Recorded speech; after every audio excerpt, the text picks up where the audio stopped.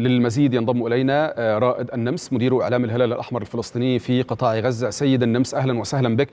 ماذا عن خارطه الاستهدافات المتتالية التي هي تقريبا لها صفة الاستمرارية والديمومة لمرافق القطاع الصحي في قطاع غزة وتحديدا بعض المنشآت التابعة للهلال الأحمر الفلسطيني؟ أهلا بكم. حقيقة منذ بدء العدوان الإسرائيلي على قطاع غزة وللأسف الجيش الإسرائيلي يتعمد استهداف المنظومة الصحية بشكل عام ويتعمد إلحاق الأذى في المستشفيات العاملة وفي الكوادر الصحية والإسعافية والإنسانية على وجه الخصوص.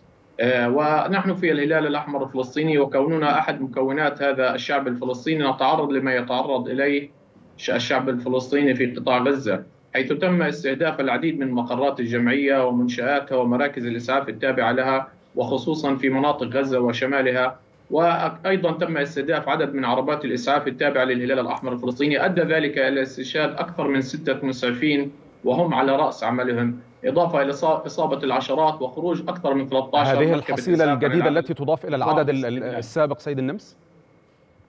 صحيح هذا منذ بدء العدوان. يوم أمس تم استشهاد أحد متطوعي الصحة النفسية التابعين لجمعية الهلال الأحمر الفلسطيني في خان يونس ويعني لا زالت قوات الاحتلال الإسرائيلي تلحق الأذى والضرر في انتهاك لجميع المواثيق الدولية التي تحرم استهداف مقدمي الخدمات الصحية والإنسانية خلال الحروب والمنازعات.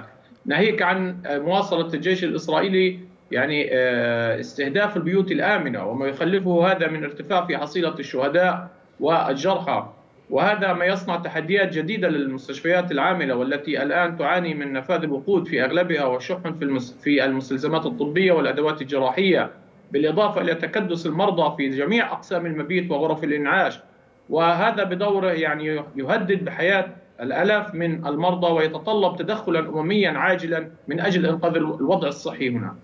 سيد رائد كنت معنا قبل أيام وكنت تطلق نداء امميا للتحذير من مخاطر انهيار المنظومة الصحية بالكلية في قطاع غزة، ليس فقط في مناطق شمال القطاع ولا في مدينة غزة، هل تغير شيء؟ هل حدث أي تفاعل معكم من جانب الصليب الأحمر الدولي، من جانب أي من المنظمات الإقليمية والدولية التي يمكن أن تقدم يد العون لكم؟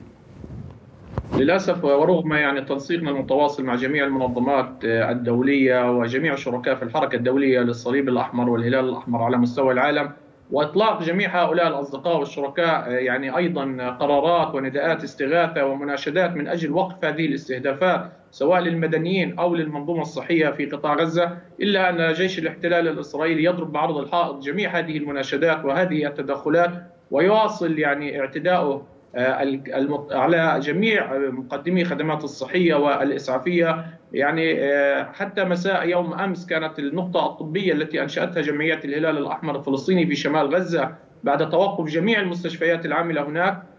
تم استهدافها وتم يعني محاولة إلحاق الأذى والضرر بالطواقم العاملة والذين يبلغ عددهم تسعة أفراد ما بين مسعف وممرض وطبيب. ويعني بشكل عام هناك الآن أكثر من 290 شهيد سقطوا أثناء تأدية واجبهم من الكوادر الطبية ما بين طبيب وممرض ومسعف وبالتالي الاعتداءات الإسرائيلية للأسف تتواصل والضحية هم المدنيين ومقدمي الخدمات الإسعافية.